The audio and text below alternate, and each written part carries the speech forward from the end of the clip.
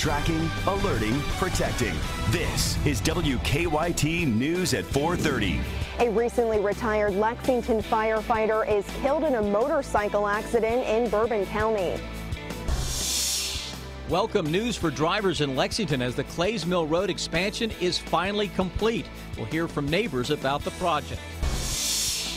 Nearly two dozen World War II and Korean War veterans from Kentucky are enjoying a full day of honors and sightseeing in Washington, D.C.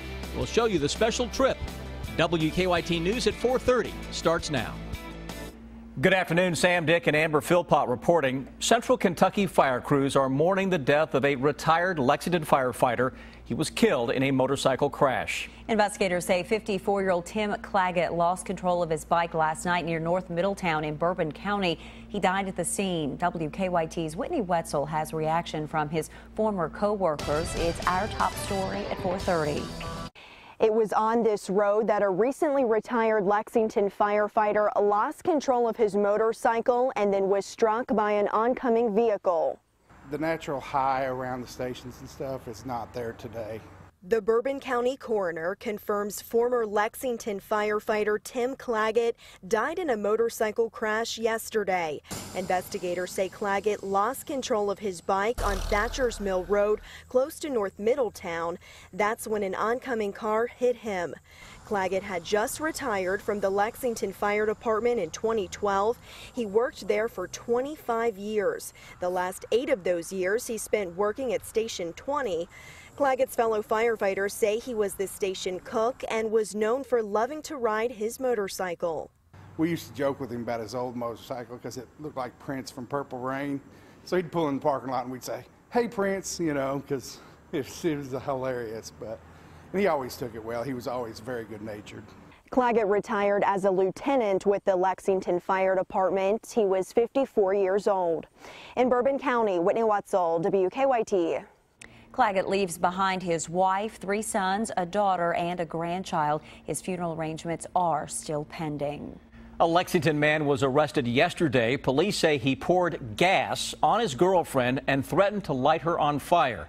50 year old Larry Higgins was charged with wanton endangerment. He punched his girlfriend in the head, police say, during an argument. They say Higgins then poured gas on her, had a lighter, and said he would set her on fire. When she threatened to call police, Higgins drove away and was charged with driving on a DUI suspended license. Lexington police are trying to figure out what led up to a man being hurt while picketing. Officers were called to Bluegrass Station about 6 this morning after reports of a man being hit by a car. But we've learned the man actually ran into the car that was not moving. He was taken to the hospital with minor injuries. About 170 people have been on strike since Tuesday. A union spokesman says they are picketing over unfair labor practices and proposed pay cuts. Today is our last day of summer-like weather before it finally starts to feel like fall here in the Bluegrass, and that means some big changes starting tomorrow. Chief Meteorologist Chris Bailey joins us from the First Alert Weather Center. We might just skip over fall, right? Yeah, I think we're just going to say to heck with October. We're going straight from August into November air in the coming days. A heck of a uh, temperature drop is on the way. Current thermometers Boy, oh boy, you got the flip flops on. We got the shorts out. It's into the low and mid 80s throughout the entire area. Mix of sun and clouds, though we're seeing a little more cloud cover streaming in on that western horizon. This is live First Alert Defender as of now that has nothing across our part of the world. Look at the thunderstorms, though.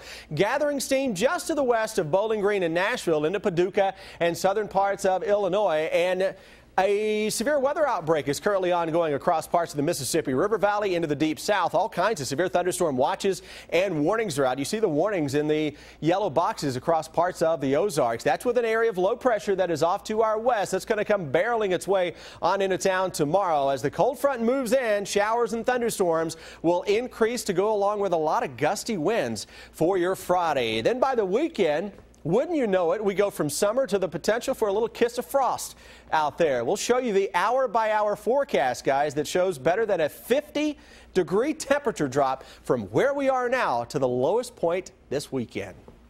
Uh, you can stop right now. All right. Thanks, Chris.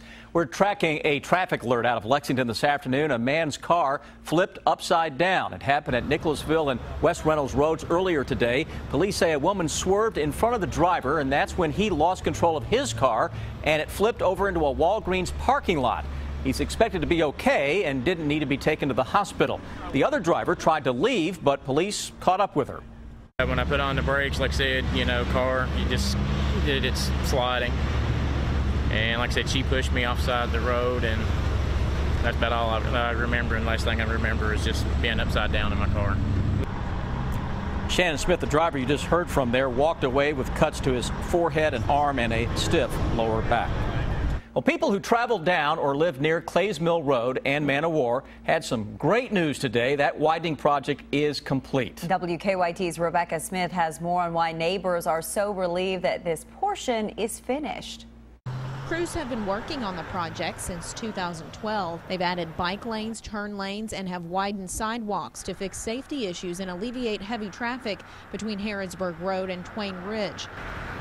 The hope is that traffic troubles will be reduced with the addition of lanes, retaining walls, sidewalks here at the corridor of Man o' War and Clays Mill. Between 15 to 20,000 vehicles travel the road a day, but that could jump to 25,000 vehicles by the year 2020. Neighbors say it's a sign of progress. Uh, traffic would back up to beyond where we live, and we live uh, three, four blocks away.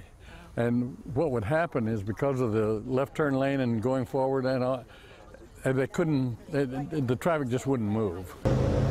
In Lexington, Rebecca Smith, WKYT. Well, another phase of the project is the widening of Keithshire and Waco. That's expected to take place next spring. What a special day. Several dozen war veterans from Kentucky are in Washington, D.C. today. They're being honored for their service. It's called the Honor Flight, and it's a one day trip for veterans to see memorials built to honor them. WKYT's Phil Pendleton is in Washington. He has a preview of a story he's working on for later tonight. We are here at the Iwo Jima Memorial, the third stop on this tour of memorials here in Washington, D.C. The day started very early at the Louisville International Airport as almost 20 veterans, mostly from World War II and Korea, boarded a Southwest flight to Baltimore. They were met with applause from strangers, many clapping and waving flags. From then it was on to the World War II Memorial, then the Korean War Memorial, and then here, all of this is free for the vets, paid for Kentucky's electric cooperatives. Many of these vets are in their 90s. They say had it not been for this trip, they probably would have never seen these memorials. In Washington, D.C., Phil Pendleton, WKYT. And we look forward to stories coming up. Phil will have a complete update on the day's activities during our 11 o'clock news tonight after the football game. Depression, it is a word that many often avoid, but one that needs to be heard, especially here in Kentucky. It is something that one in 10 Americans are living with. Tonight, how some new research at the University of Kentucky is helping shed light on this dark subject and helping women open up about it.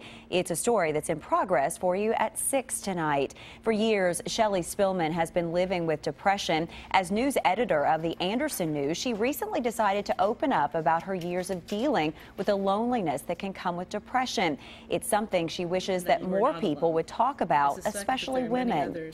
I think it's very important to keep this dialogue open because for some reason we're we're conditioned not to talk about this. It's we're not open about it. And it's just sad to me because there's so many people that feel like they're the only ones that have this. Tonight at 6, how researchers at the University of Kentucky are trying to break the stigma of depression by getting more women to open up while trying to learn more about why some women living in eastern and southeastern Kentucky are dealing with depression at higher rates than other parts of our state. Amber, it's sad to hear that the numbers are going up. Do they, researchers have any idea why that's happening? Well, I wish I had a better answer for you, but but here's the deal. We're talking about an area that for decades has been depressed in many ways, economically, of mm -hmm. course. You're talking about an area that has higher rates of cancer, stroke, heart disease, uh, death. So the key is really about getting women to talk. And in this study, uh, there were 28 women that they got to open up, and that's a that's a good start. Sure. And the conversation is ongoing and many of those women said they came forward because they wanted to help someone else not live in this darkness. So um, it's an interesting look, and uh, and if it just keeps the conversation going with one mm -hmm. more mm-hmm. person, that's the good news. And how courageous of that woman you interviewed to be public with her story like Wrote that. about it in the newspaper. Yeah. She's used, like us, of writing about sure. other people, and she decided to open up herself. Good so for her. Tonight at 6, you'll see more. Look forward to it. Mm -hmm. Thank you very much.